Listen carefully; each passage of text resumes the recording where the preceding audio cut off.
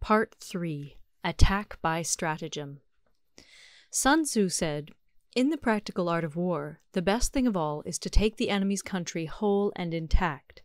To shatter and destroy it is not so good. So, too, it is better to recapture an army entire than to destroy it, to capture a regiment, a detachment, or a company entire than to destroy them. Hence, to fight and conquer in all your battles is not supreme excellence. Supreme excellence consists in breaking the enemy's resistance without fighting. Thus, the highest form of generalship is to balk the enemy's plans. The next best is to prevent the junction of the enemy's forces. The next in order is to attack the enemy's army in the field.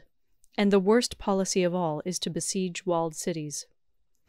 The rule is, not to besiege walled cities if it can possibly be avoided.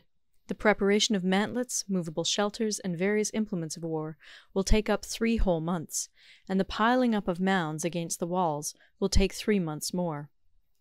The general, unable to control his irritation, will launch his men to the assault like swarming ants, with the result that one third of his men are slain, while the town still remains untaken.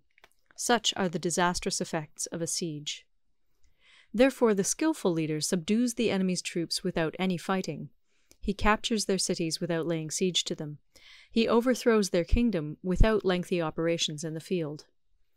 With his forces intact, he will dispute the mastery of the empire, and thus, without losing a man, his triumph will be complete. This is the method of attacking by stratagem.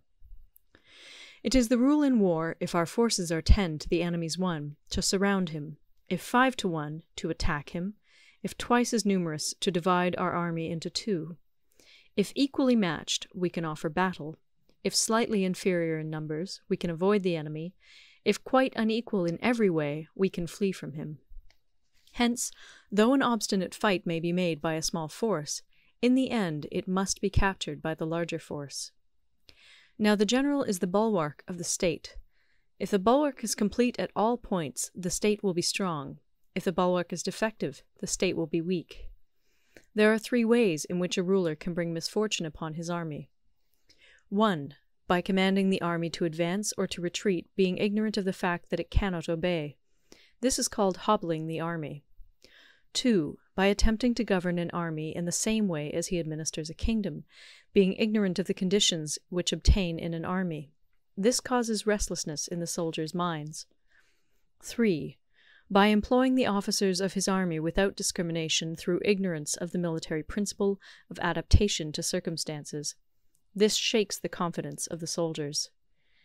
But when the army is restless and distrustful, trouble is sure to come from the other feudal princes. This is simply bringing anarchy into the army, and flinging victory away.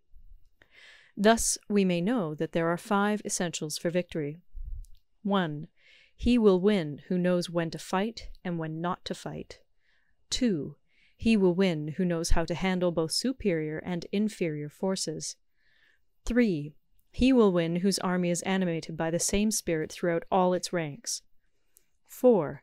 He will win who, prepared himself, waits to take the enemy unprepared. 5. He will win who has military capacity and is not interfered with by the sovereign. Hence the saying, If you know the enemy and know yourself, you need not fear the result of a hundred battles.